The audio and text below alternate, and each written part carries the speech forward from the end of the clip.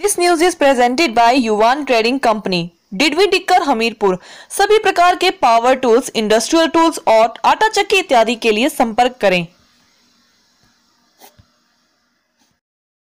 देश में बढ़ती महँगाई के विरोध में सीपीआईएम द्वारा आज उपायुक्त कार्यालय के बाहर जोरदार प्रदर्शन किया गया।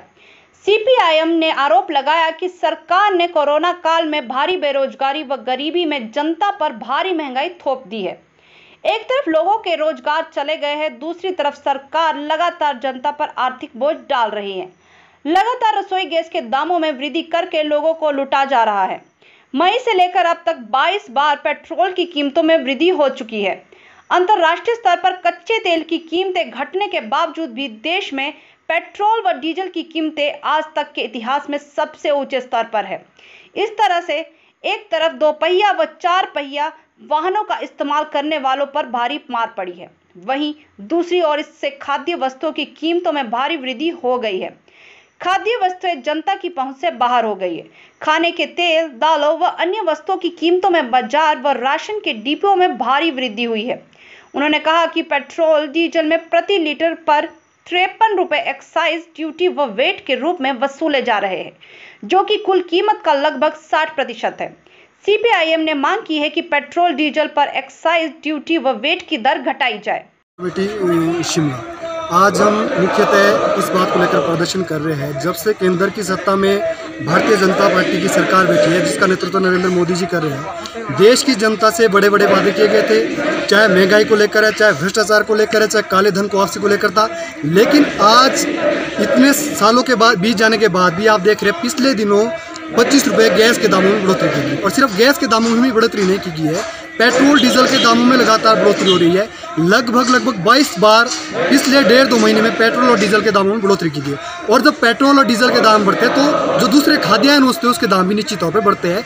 बाज़ार के अंदर जो सरसों का तेल है, जो रसोई के अंदर सबसे महत्वपूर्ण चीज़ है, उसका लगभग एक दो सौ दस रुपये लीटर सरसों का तेल हो गया, रिफाइंड एक सौ सत्तर रुपये के आसपास हो गया। आप दालों का रेट देखो, सब्जियों का रेट देखो, प्याज, टमाटर का रेट देखो, तीसरी बड़ी चीज़ है, जो ये सरकार सबसे बुरी चीज़ कर रही है लोगों को गुमराह करके देश की सार्वजनिक संपत्तियों को बेचा जा रहा है। देश की सारी जो हमारी संपत्तियाँ थी, रेल है, बिजली है, आपका सड़क है हवाई अड्डे है चाहे जितने भी सेक्टर है, जिसके आधार पर इस देश देश की बुनियाद रखी गई थी, उन सारी चीज़ों को निजी हाथों में दिया जा रहा है। चार पाँच जो कॉरपोरेट फैमिलियाँ हैं, अडानी अंबानी की, उनके फ़ायदा देने के लिए ये सरकार सब कुछ कर रही है।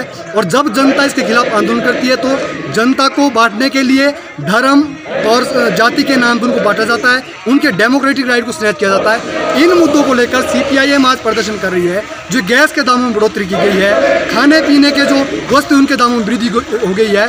इसको कम किया जाए और आने वाले समय के अंदर जो पी सिस्टम है पब्लिक डिस्ट्रीब्यूशन सिस्टम है, उसको मज़बूत किया जाए, सस्ता राशन मुहैया किया जाए। डिपो के अंदर भी जो तेल है, एक सौ साठ रुपये हो गया। तो एक गरीब आदमी जो डिपो से राशन लेता था, चावल लेता था, दालें लेता था डिपो के अंदर सड़ी हुई दालें मिले कैसे सर्वाइव कर पाएगा? लोगों के रोज़गार चले गए। तो इसलिए सीपीएम आज ये विरोध प्रदर्शन कर रही है। तो आपको लगता है कि यदि सत्ता परिवर्तित होती है तो इस तरह से जो है महँगाई नहीं बढ़ेगी? या जो इससे पिछली सरकार थी उस वक्त जो है इस तरीके की महँगाई नहीं थी या फिर और जो चीज़ें लगातार यहाँ पे देखने को मिल रही पिछली सरकार के समय में लोगों की बहुत दुख दुख तकलीफें थी। इसको दरकिनार आप नहीं कर सकते। इसीलिए लोगों ने उनको मैंडेट नहीं दिया। इसीलिए सत्ता से बाहर किया। चाहे भ्रष्टाचार के प्रश्न को लेकर था, चाहे महँगाई को प्रश्न के लेकर था, चाहे दूसरे मुद्दों को लेकर था जो जनता जनता के बुनियादी मुद्दे थे। इसलिए लोगों ने उनको वोट नहीं दिया, सत्ता से बाहर किया। लेकिन जो वर्तमान सरकार है, लोगों ने बहुत बड़ा मैंडेट दिया है। पार्लियामेंट के अंदर एक बहुमत से सरकार बनी है, जिसकी ज़िम्मेदारी ज़िम्मेदारी से हट नहीं सकते। लेकिन इनकी ज़िम्मेदारी ये नहीं है कि सारी की सारी देश की संपत्ति को इस पूरे के पूरे बीएसएनएल दफ्तर को भेज दिए। कर्मचारी नहीं है, लोगों के रोज़गार छिन गए। पहले आप हाल ही में मोनिटेशन कर रहे हैं। पहले नोटबंदी की, नोटबंदी से करोड़ों रोज़गार गए। अभी अभी एक आंकड़ा आया है कि आने वाले समय के अंदर 40 करोड़ लोगों के रोज़गार जाने हैं और एक भूखमरी जैसे हालात पैदा हो रहे देश के अंदर। और एक तरफ़ से इस तरह के हालात पैदा रोज़गार जा रहे हैं। दूसरी तरफ़ से लोगों के ऊपर महँगाई की मार कर रहे हैं। तो ये बिल्कुल भी सही नहीं इसलिए सी इस चीज़ को गलत ठहराती है और प्रदर्शन कर रही है।